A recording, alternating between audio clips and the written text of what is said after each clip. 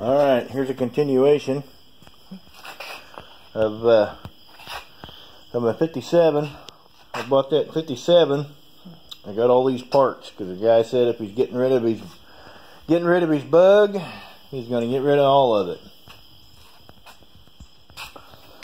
Anyway, so yeah, we got lots of stuff here. We got the old W guess what they refer to as the W rear bonnet there. All looks real good. Quit uh, trying to make you guys sick here. Turning the camera every which way. Couple set of pipes. These are really, really loud. Uh, I don't know if those are a ceramic coated or quite what they are. Uh, but anyhow, you got some little, looks like the old uh, thrush type mufflers there couple sets of pistons. Uh, a lot of people, this is probably junk, but uh, when you work on your own stuff, and I've been working on a few other people's stuff too, uh, there's a lot of usable parts here. Now here's some stuff. Easy Jeezy or uh, VW Darren. I don't know if you guys can help me out on this. I'm still learning on some of this racing stuff, but this is obviously obviously some kind of hub adapter for some type of balancer. Uh, you know, I don't know, maybe if this is a hub hub adapter for them serpentine setup. I'm I'm not sure. But anyway, we got uh, we got brake lines, we got lots of gaskets, a couple old tools. We got some new stuff in here, distributor caps, coils. Uh, looks like we got some seals gasket sets, J pipes, fuel stuff there, fuel gauge, box of hood hinges, some tin pieces, e-brake. Uh, looks like there's a rod in there. Another box of, looks like tail lights, turn signals, mirrors, coil, coil brackets, tubs there. Here's a box of new stuff. Oh, looks like we got rotor, drain plugs. We got uh, looks like there's a trunk latch there. Uh, some standard rings, which come in fine, I guess, if you break one. Perfect circle, good quality, anyways. A couple of weatherproof caps. Uh, looks like we got. Uh, that's a used fuel pump, it says. We've got wheel cylinder kits here. Uh, rod bearings. Got new set of main bearings. Master cylinder kit. New fuel pump. This is the old style fuel pump there. Yeah. New in the box. We've got another distributor cap. Uh, brand new, brand new generator. Look at that. Well, remanufactured, remanufactured by Robert Bosch. Uh, starter in here. Yeah, now remanufactured. It says new, but anyway, box of goodies. More stuff there. Ashtray, I think, down in there I saw earlier instead of the old style pedals. Here we go, here's kind of a gem.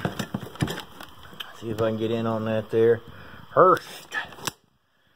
Yeah, them are kind of quite a collector's item now. Sets of pistons. Uh, these appear to be stock. Those might, those look to be a little bit bigger.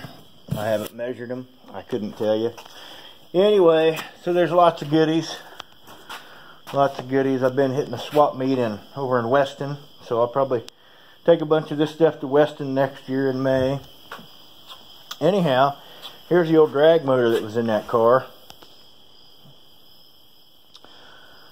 So, uh, anyway, there's kind of a long story behind this. I'd done some trading with this guy, and I ended up with the uh, close ratio transmission that was in the car and I ended up with the dual carbs because this engine was missing and I don't think he knew much about what was going on. So I ended up trading him the old engine out of my wife's car that was running for the carbs and the uh, and the intake. Or the oh where they at here? Not the intake but the anyway the dual Weber 44s that and the transmission out of this car. Well, anyway, that car was built for drag racing. So I was I was hoping I could find some goodies. I did. Looks like we got Mahle pistons. Uh, the heads on here.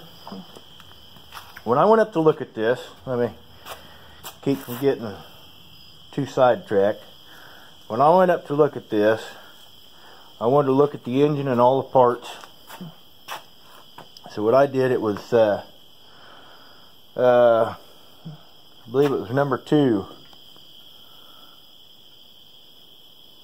I forget which way it was sitting on the floor now. But anyway, it was on this. Pretty sure it was on that side. Anyway.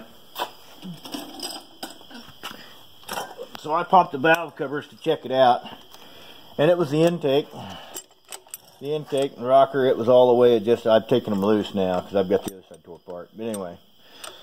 The intake, the intake was adjusted all the way out, and the push rod was just was just laying in there.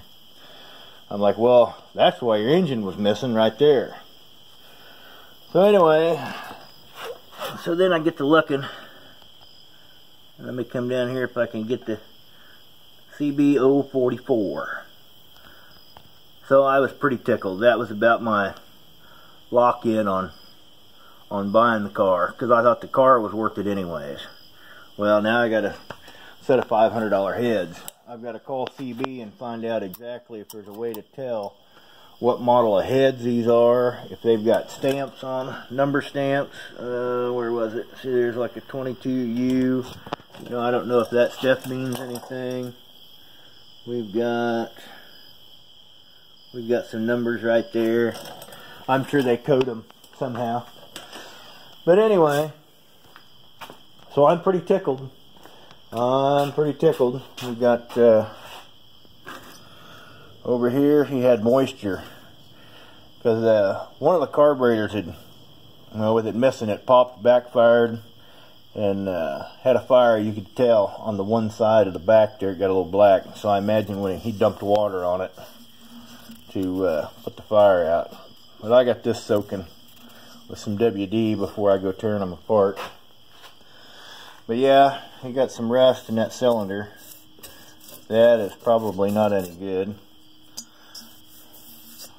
But I'll have an extra set, and I've got two extra sets of uh, 1835 pistons anyhow, so... Anyway, uh, let me see if I can look in here. I was looking earlier, and it looks to be a German crankshaft. Get my get used to where my camera is at here. I don't know if you can see it or not on that one. You can see it on number one. But you can see in there just to the right side. turn my light and turn my flashlight down so it's not so bright. Yeah. You can see a little bit of weld let me get on that side and do that. You can see a little bit of weld right there next to the rod. Well, my guess is, is it's a German crankshaft that's been welded and reground. So I don't know if it's got a stock stroke or not. That'll be my next, my next process. Yeah, you can see on this piston right here. I'm getting the right spot here. See that valve? That valve hit the piston. Didn't have it shimmed right. Anyway, so, because I know the guy, I know of the guy that built the engine for drag racing. And it run like a scalded dog. I'd heard this. I'd heard it run. But anyway, the guy that I bought it from, I think he probably tried to mess around with it and didn't know much of what was going on. Uh, here nor there, doesn't much matter. Anyway, I'm pretty tickled. Uh, video's getting kind of long, probably boring, boring the crap out of everybody.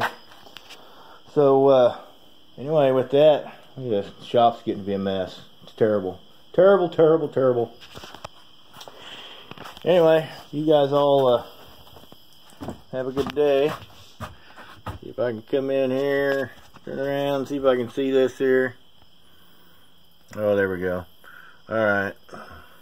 Something like that. Alright. Anyway, everybody have a good day. I'll talk to you later. Bye.